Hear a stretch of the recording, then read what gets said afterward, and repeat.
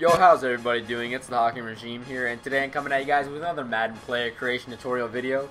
Today we are doing Marshall Marshall Marshall Faulk from the Indianapolis Colts, and mostly known for playing with the St. Louis Rams and that greatest show on turf unit that was so deadly on the offensive side of the football. So Marshall Faulk, great suggestion by whoever did it. Again, I like I mentioned in my last video, I'm gonna start shouting out guys who who do you know are the first to mention a player uh, that I should do in a video, and uh, I will shout them out at the end of the video or, the, or the beginning, one of the two. Um, so stay tuned for that. Apologize for anybody um, who did suggest a player in the past, and I didn't shout them out, obviously, because I have yet to have done any of that uh, as of late. But going on into Marshall Faulk and his contribution as a player in the NFL during his time, um, and really, uh, this guy is like the best receiving running back of all time. Probably, in my personal opinion, there's there's definitely other guys that are up there. Uh, Marcus Allen's one really notable one, and, and there's definitely some guys that were kind of, I guess, mostly centered around catching the football more than being a running back. But when I think of greatest receiving backs, I kind of think of guys that are also good at running the football, which is a category that I feel like guys like Marshall Faulk and Marcus Allen uh, are the epitome of. And there's some other guys, obviously, for sure, but the way Faulk was used and his numbers and having the most receiving yards as a running back ever, it just helps a lot, I feel like, in, in defending that statement. So, again, going into Marshall Faulk and what he was able to do during his career, seven time Pro Bowler, three time All Pro, um, obviously won that Super Bowl title with the greatest show on turf, Rams, uh, Kurt Warner, Torry Holt, Isaac Bruce, Orlando Pace, um, you know, Mike Martz, Dick Vermeil, those guys. Um, it was just a phenomenally talented team offensively, and they were able to win a title. And, and again, a lot of people think that it's crazy. You know, they, they talked a lot about them losing to New England also, um, and they could have won, you know, two titles. Uh, kind of reminds myself of, of Seattle when they, you know, played really well in that Super Bowl back in 2013. Um, obviously, a little bit different situation because Rams barely were able to win their first Super Bowl.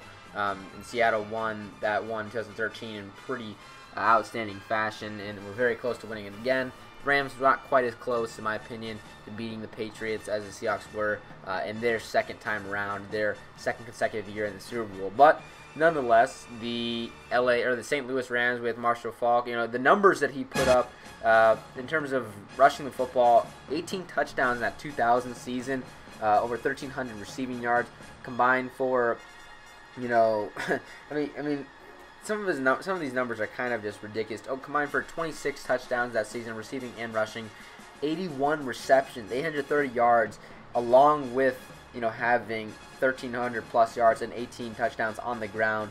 Uh, really staggering numbers. Had a thousand yards receiving in 1999. I mean, that's kind of unheard of at the 87 receptions at a running back. I mean, even like David Johnson, you know, he's a guy that they compare nowadays in, in Arizona to a guy like Marshall Faulk, but it's really it, it's just not the same, and um, that it, it's just you, you can't really ask it to be the same. Marshall Faulk is just a superstar legend. Not that David Johnson won't be a great player, but I think it's tough to compare uh, right now.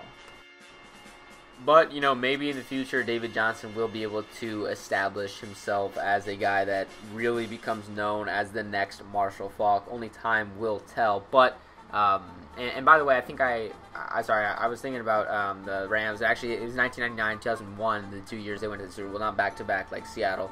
I don't know why I thought I kind of get confused uh, with those early, late 90s, early 2000 years. But uh, regardless, let's go into the equipment for Marshall Faulk. You see the elbow pads right there. The gloves, I think, end up being Nike. I don't think I go anything too crazy with the cleats, but I, again, I do like to kind of go with some old school looks, so I do like the Pintos a lot with like, when I make these videos. The player exclusive retros aren't too bad with a lot of looks. I think I might have been considering these, and I think I ended up switching it. And the the really nice ones I like, especially with this color combination. I know this wasn't a jersey that Marshall Faulk donned during his time with the Rams, but it still looks really clean, and uh, we don't have an option, unfortunately, Madden. That's one thing I really would like EA to adjust next year and in the future years.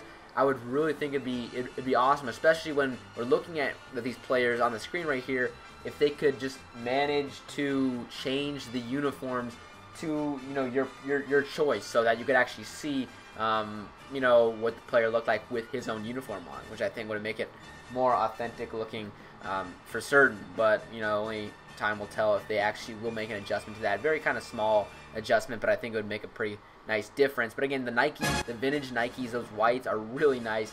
I, really like the way they look there. And a lot of times the players late 90s, they wore kind of white shoes in general, so um, it's, it's pretty authentic there. And again, the rating is completely subjective, but you know that Marshall Faulk was an extraordinarily explosive player, incredible cutter in the open field. I feel like there's only so many players I would be more fearful of in the open field than Marshall Faulk, one of them being named Barry Sanders. And I don't know if there's too many other guys aside from that. Just the shiftiness, the speed, uh, the combination of balance by Marshall Faulk, uh, it, it's it's really uh, spectacular. I mean, to be honest with you, um, I really wish I could have again watched more of some of these guys play. They're just unbelievable talents, and fortunately, we still have great talent in the NFL today. But in the running back position, I feel like it, I don't know if it's gone down, um, but the league has definitely gone more pass oriented. And not that Marshall Faulk was a uh, a guy that wasn't, you know, he was a pass oriented guy. He was a receiver, receiving running back a lot of time, but um, just his ability in open field. Uh, just tough to match, man. But that will be the conclusion of the video. Hopefully, you guys enjoyed. You know, make sure to subscribe to the channel for more of these Madden player creation tutorial videos. Again, thank you everybody for the support for these videos. I feel like it's been getting a solid amount. Um, you know, almost like 5 likes per video, which is cool. If we get to ever to 10, 15, 20 likes, those are the numbers that would really be awesome to see at some point. But that's going to probably take some more time to get to that point. But I uh, really appreciate the support. Continue to suggest uh, players for me to do, and I will do them in the future. Um, but once again, hopefully you guys enjoy the video. And yep, thanks for watching.